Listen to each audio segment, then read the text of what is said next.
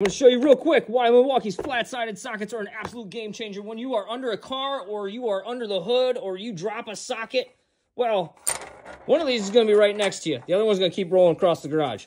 Check out Milwaukee's flat-sided sockets. I use these every day and absolutely love them.